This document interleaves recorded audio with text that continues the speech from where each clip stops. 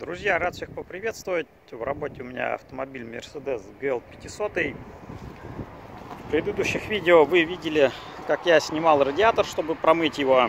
И попутно при демонтаже радиатора был сделан осмотр роликов. И был обнаружен повышенный шум на водяном насосе и на ролике натяжителя было принято решение, пока все у меня разобрано, сразу заняться заменой данных компонентов. Все это было заказано, прошла неделя, наконец-то все пришло и процесс установки новых компонентов начался. То, что касается водяного насоса, водяной насос от фирмы Дайка был заказан. Фирма достаточно серьезная, я думаю, делает неплохие вещи, поэтому поставим Посмотрим, как он себя поведет. Оригинал стоит в районе от 40 до 50 тысяч, если мне не соврать. Дайка стоит 5 тысяч рублей. То есть 5 и 50, как бы разница есть. Вот он оригинальный насос мерседесовский.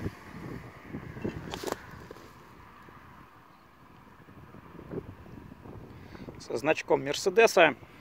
Надо отдать должное, он проходил 246 тысяч километров и, честно говоря, он до сих пор живой, просто он шумит чуть-чуть. Интересная форма крыльчатки сварная. Тайка выполнен абсолютно так же, то есть я никаких различий по насосу не нашел. Что оригинал, что дайка примерно все одинаково, что не может не радовать. В комплекте была металлическая прокладка, проблем нет.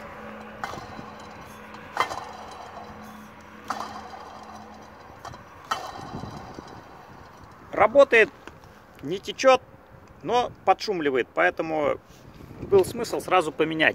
И я так понял, что он изготовления пятый месяц 2010 года, машина 11 года. Достойный результат, не хуже, чем у Тойоты.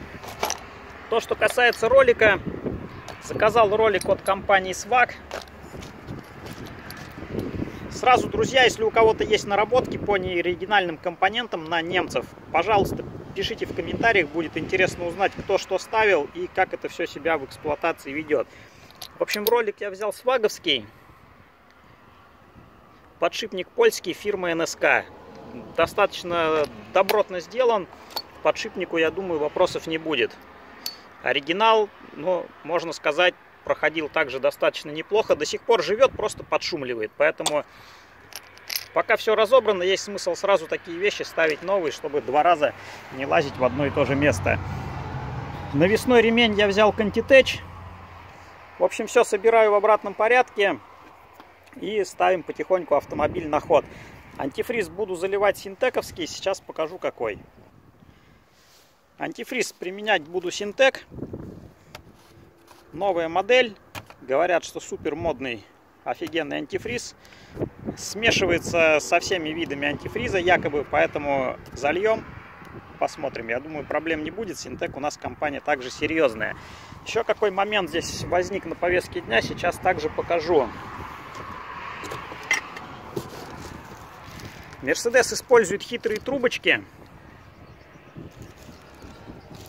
на своих автомобилях. И желательно заказать сразу новые уплотнительные кольца на вот эти трубки охлаждения. То есть они крепятся у нас не таким вот образом, а на быстросъемах и при помощи уплотнительных колец обеспечивается герметичность. Сейчас попробуем посмотреть. Если вблизи трубочку найду. Да, вблизи трубочку я нашел. Вот такого вида трубки интересные. И здесь идут колечки. Поэтому колечки я заказал также новые.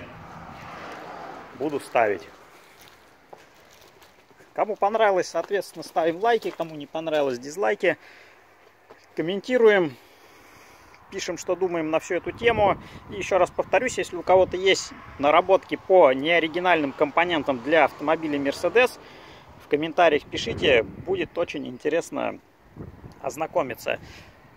Сразу заметка, то, что касается предыдущего видео по автомобилю Toyota Land Cruiser 300. Видео я, друзья, закрыл по просьбе Toyota Motor. Мне позвонили ребята с дилера и попросили видео закрыть, так как информация вроде как э, является секретной. Хотя не знаю, что там мне секретного. Автомобиль, в принципе, уже на рынок выходит, он уже представлен. Любой может заглянуть под автомобиль, посмотреть, как все сделано, поэтому не знаю, не вижу смысла такую информацию не озвучивать, наоборот, ее надо показывать во всеобщий доступ, чтобы новые владельцы таких автомобилей знали, что это за автомобиль, из чего он сделан, с чем его едят и насколько круче он стал, чем предыдущая 200 -ка. Поэтому не вижу смысла делать из этого секрета, но тем не менее попросили видео закрыть, видео закрыл. Благодарю, друзья, всех за внимание, желаю всем здоровья, удачи и благополучия.